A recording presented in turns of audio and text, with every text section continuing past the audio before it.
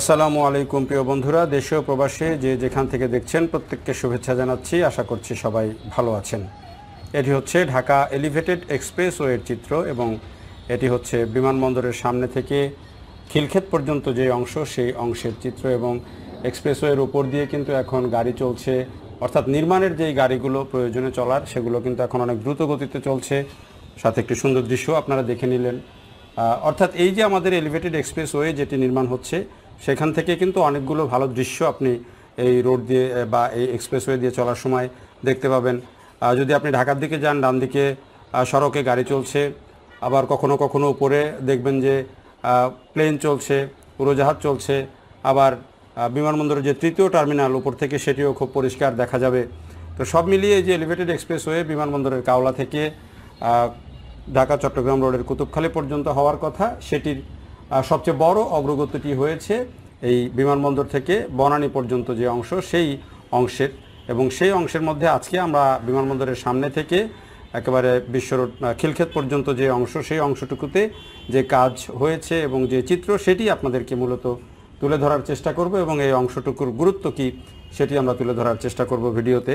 তো যেটি বলা দরকার যে এটি এই যে বিমানবন্দরের সামনে থেকে, অর্থাৎ কাওলা থেকে এখন যে তৃতীয় টার্মিনাল তৃতীয় টার্মিনালের উল্টো দিক থেকে এই যে এবারে এই এই যে এলিভেটেড এক্সপ্রেসওয়ে সেটি শুরু হয়ে এটি বনানী হয়ে যাবে একেবারেই আহ, সেই ঢাকা চট্টগ্রাম সড়ক পর্যন্ত। এটি ঢাকার একটি বিকল্প বাইপাস হিসেবে নির্মাণ করার কথা ছিল যদিও পরবর্তীকালে এটিতে বিভিন্ন পয়েন্টে র্যাম্প যুক্ত করা হয়েছে এবং সেই র্যাম্পের দৈর্ঘ্য কিন্তু এখন মূল যে এলিভেটেড লাইন সেটির দৈর্ঘ্যের চেয়ে বেশি। অর্থাৎ র্যাম্প সাতাশ কিলোমিটার আর মূল এলিভেটেড লাইন যেটি, সেটি হবে বিশ কিলোমিটারের মতো। তো এটি আসলে এখন এই যে বিমানবন্দরের সামনের যে চিত্র তৃতীয় টার্মিনালের উল্টা দিকে সেটি কিন্তু উপর থেকে দেখতে বেশ ভালোই লাগে। একেবারে লেন তৈরি হয়ে গেছে রোড ডিভাইডার তৈরি হয়ে গেছে এবং এখন কিন্তু যে টোল প্লাজা, সেই টোল প্লাজা তৈরির কাজ চলছে, যেখান থেকে টোল আদায় করা হবে। এই যে পূর্ব দিকে যেই ঘরটি নির্মাণ হচ্ছে, এই জায়গাটিতে টোল প্লাজা তৈরি হবে। অত্যাধুনিক টোল প্লাজা যতটুকু এখন পর্যন্ত জানি। তো এই যে এখানে কিন্তু যে সড়কের যেই স্মার্ট এলইডি লাইট এই এলিভেটেড এক্সপ্রেসের জন্য সেগুলোর সংযোজনের কাজও কিন্তু এরই মধ্যে বনানী পর্যন্ত হয়ে গেছে উপর দিয়ে এবং এই এলইডি লাইটগুলো যারা এই সড়ক দিয়ে এখন চলেন, যদিও লাইট জ্বলে না, কিন্তু এর ল্যাম্প পোস্ট এবং লাইট সংযোজনের যে কাজ সেগুলো কিন্তু চলছে। আর এই যে দেখেন, যখনই আমরা এই মোড়টুকু ঘুরি, তখন দেখি যে আমরা পূর্ব দিকে রেল লাইন এবং তার পা উপর দিয়ে চলে যাচ্ছে, পাশ দিয়ে এলিভেটেড এক্সপ্রেসওয়ে এবং পূর্ব, পশ্চিম পাশে কিন্তু মূল যে সড়ক, আমাদের বিমানবন্দর সড়ক এবং দেখেন এর এই জায়গাটাতে ঠিক পশ্চিম পাশে হচ্ছে আমাদের তৃতীয় টার্মিনাল। অর্থাৎ এই তৃতীয় টার্মিনাল থেকে কিন্তু তৃতীয় টার্মিনালে যাওয়ার জন্য কিন্তু এলিভেটেড এক্সপ্রেসওয়ে ব্যবহার করা যাবে এবং এলিভেটেড এক্সপ্রেসওয়ে এবং তৃতীয় টার্মিনাল থেকেও কিন্তু সরাসরি তৃতীয় টার্মিনালে যাওয়া যাবে সেটি সব ধরনের সেই রাস্তাই তৈরি করা হচ্ছে। অর্থাৎ এগুলো কিন্তু যে কানেক্টিভিটি অর্থাৎ এলিভেটেড এক্সপ্রেসওয়ে থেকে দেখেন যে এই যে একটি অংশ কিন্তু র্যাম্প নেমে গেছে রাস্তার পশ্চিম পার্শ্বে, বিমানবন্দর সড়কের পশ্চিম পার্শ্বে এবং সেটি একেবারে- থার্ড টার্মিনালের পাশ দিয়ে, অর্থাৎ এখান থেকে কেউ চাইলে পশ্চিম পার্শ্বে চলে যাবে, নেমে যাবে। আবার বিমানবন্দরের তৃতীয় টার্মিনালের যেই অংশ সেখান থেকেও কিন্তু আবার দুটি র্যাম্প এসে যুক্ত রাস্তার পূর্ব পাশে নামবে কাওলা এলাকায় এবং সেখান থেকে কেউ এসে চাইলে যে এলিভেটেড এক্সপ্রেসওয়েতে এক্সপ্রেসওয়েতে সরাসরি উঠে যেতে পারবেন।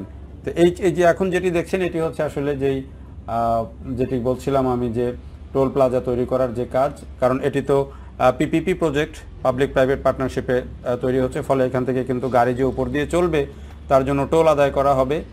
বিভিন্ন গাড়ির বিভিন্ন ধরনের টোল থাকবে এবং সেই টোল আদায়ের জন্য যে বিভিন্ন পয়েন্ট, তার মধ্যে একটি পয়েন্ট হচ্ছে এখানে এই খিলক্ষেতের পরে, কাওলার ঠিক পরপরই এখানে বড় পরিসরে কিন্তু সেই সড়ক ইয়েগুলো তৈরি করা হচ্ছে। অর্থাৎ এইখান থেকে বিমানবন্দর এলাকা থেকে যারা উঠবেন, তারা এই পয়েন্টে এসে তারা কিন্তু টোল দিয়ে তারপরে পার হতে হবে, সেটি উপরে নির্মাণ চলছে এবং এটি হচ্ছে তার যে জায়গায় নির্মাণ হচ্ছে, তার নিচের যে দৃশ্য, সেই দৃশ্য এবং এর নিচ দিয়ে কিন্তু রেল লাইন চলে গেছে। তো সব মিলিয়ে এই অংশটিতে কাজের অগ্রগতি খুবই ভালো, যদিও বলা হয়েছিল সড়ক পরিবহন মন্ত্রী বিভিন্ন সময় বলেছেন যে এটি এই বছরের জুনে চালু করে দেয়া হবে। অন্তত অনেকে বলেছেন যে বনানী পর্যন্ত হলেও চালু করে দেওয়া হবে। তো বনানী পর্যন্ত কিন্তু মোটামুটি কাজ ভালো এগিয়েছে মোটামুটি প্রস্তুতিও ভালোই হচ্ছে বলা যায় অনেকটা এখন শেষ মুহূর্তের ফিনিশিংয়ের কাজ হচ্ছে এমনটাও যদি বলা যায়, সেটি বলা যেতে পারে। যে এখন কিন্তু ওই যে ঢালাইয়ের কাজ যেটি, এটি তো সড়কের প্রাথমিক যেই কাজ, সেগুলো র্যাম্প সংযোজন করে করে যে অবস্থা দাঁড়িয়েছে সেটি আছে। এরপর কিন্তু যেই ঢালাইয়ের কাজ, সেই কাজগুলোও কিন্তু শুরু হয়েছে। এবং সেটি নিশ্চয়ই আপনারা শুরুতেই ভিডিওতে দেখেছেন যে একটি অংশে ঢালাইয়ের কাজ চলছে এবং যে এখানে যে পানি নামার যে পাইপ ফিটিং এবং অন্যান্য যে বিদ্যুতের লাইন এবং অন্যান্য যেসব কাজ, সেগুলোও কিন্তু এখন চলছে। এই অংশে বলা যায় যে ফাইনাল টাচ ঢালাইটা হয়ে গেলেই, মূল যে ঢালাই, এই যে এখন দেখেন আপনারা এই যে দেখছেন, ঢালাইয়ের কাজটি শুরু হয়েছে একদিক থেকে। এটি পূর্ব পাশ, পশ্চিম পাশে দেখেন ঢালাইয়ের কাজটি কিন্তু যে পিচ ঢালাইয়ের কাজ, সেটি শুরু হয়েছে এবং বেশ খানিকটা অংশ কিন্তু এই পিচ ঢালাই হয়েছে। এবং এই পিচ ঢালাই হতে খুব বেশি সময় লাগার কথা না যেহেতু অন্যান্য সব বড় কাজগুলো হয়ে গেছে ওই অংশে, ফলে পিচ ঢালাইয়ের জন্য কিন্তু খুব বেশি, এটি হচ্ছে খিলক্ষেত পর্যন্ত অংশের দৃশ্য। এবং ওপর থেকে দেখলে বেশ ভালোই লাগে। আমি একটি বড় ভবনের ছাদ থেকে, উঁচু ভবনের ছাদ থেকে ভিডিওটি ধারণ করেছি। বেশ ভালো লেগেছে উপরে উঠে যখন দৃশ্যগুলো দেখি তখন। তো যেটি বলছিলাম যে এটি চালু হয়ে যাওয়ার কথা বছরের জুনে, কিন্তু আমার মনে হয় না যে জুনে এটি চালু করা সম্ভব হবে, কারণ এখনও অনেক কাজ বাকি আছে। যদিও খুব দ্রুত গতিতে এই কাজ চলছে বিশ্ব রোড এলাকায় একটা বড় কর্মযজ্ঞ আমরা দেখেছি। এর পরের ভিডিওতে আমরা আপনাদেরকে বিশ্ব রোড এলাকায় যে র্যাম্পগুলো নেমেছে বিভিন্ন এবং কোন দিক থেকে গাড়ি কোন দিকে উঠবে নামবে এবং পুরো আহ, বিশ্ব রোড এলাকার যে চিত্রটি সেটি আপনারা আপনাদেরকে এর পরের ভিডিওতে আমরা দেখাবো। এটি এ পর্যন্ত দেখালাম যে এই চিত্রটি অনেকখানি মানে দেখে একটা মুগ্ধ হওয়ার মতো। যদিও এই প্রকল্পটি নিয়ে নানা রকমের আলোচনা সমালোচনা দীর্ঘদিন থেকে আছে। এটি হচ্ছে লা মেরিডিয়ান হোটেলের হোটেল এবং পাশে যে নিকুঞ্জ এলাকা। এবং এটি কিন্তু এলিভেটেড এক্সপ্রেসওয়ে থেকে দুই দিকেই কিন্তু দৃশ্যটি যাওয়ার সময় খুব ভালো চোখে পড়বে। ডান দিকে সড়ক থাকবে, আপনি ঢাকার দিকে যাওয়ার সময় বাম দিকে তারপরে রেল লাইন পাশে, এরপরে কখনো কখনো এই অংশটি ক্রস করার সময় হয়তো বিমানবন্দরের দৃশ্য আপনার চোখে পড়বে। তো সব মিলিয়ে কাজটি শেষ পর্যন্ত অনেকখানি অগ্রগতি হয়েছে। তেজগাঁও পর্যন্ত অংশ খুলে দেওয়ার চেষ্টা চলছে। এই বছরের ডিসেম্বরের মধ্যে এবং বনানী থেকে তেজগাঁও অংশেও কিন্তু এখন বেশ দ্রুততার সাথে কাজ চলছে। এখন যে অংশটি আপনারা দেখছেন, এটি হচ্ছে যেখান থেকে গাড়িগুলো উঠবে বিমানবন্দরের কাওলা, যে এলাকা থেকে যে এটা এই যে এপারে যে র্যাম্পটি দেখছেন সেটি হচ্ছে ওঠার, গাড়ি ওঠার এবং মাঝখানে যেই মূল লাইন সেটি কিন্তু ওঠার ব্যবস্থা ওইটিতে নেই কারণ ওটির অংশটি কিন্তু শেষ হয়ে আছে অন্য জায়গায়। তো এটি হলো বিমানবন্দর সড়ক, মূল যে সড়ক সেই সড়কের পশ্চিম পাশে দেখেন একটি র্যাম্প এসে নেমেছে। আর পূর্ব পাশে, রাস্তার পূর্ব পাশে যে এলিভেটেডের মূল যে লাইন, সেটি কিন্তু সামনের দিকে কমপ্লিট করা হয়নি।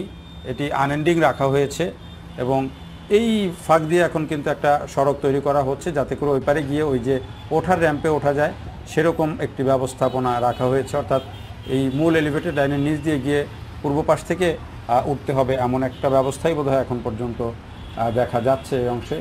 জানি না, এর পরবর্তীতে এই অংশে আরও নতুন করে র্যাম্প তৈরি করে এটিকে কত দূরে নিয়ে আসা হবে, সেখান থেকেই হবে কিনা মূল সেটিও আরও দেখার অপেক্ষা ডিজাইনের ক্ষেত্রে। তো সব মিলিয়ে এবছরের ডিসেম্বরে তেজগাঁও পর্যন্ত খুলে দেওয়ার প্রস্তুতি চলছে। কতটুকু সম্ভব হবে জানি না, তবে আমরা প্রত্যাশা করি যেন দ্রুততম সময়ে কাজটি শেষ হয়ে মানুষের ভোগান্তি দূর হয়। দেখার জন্য সবাইকে অনেক ধন্যবাদ।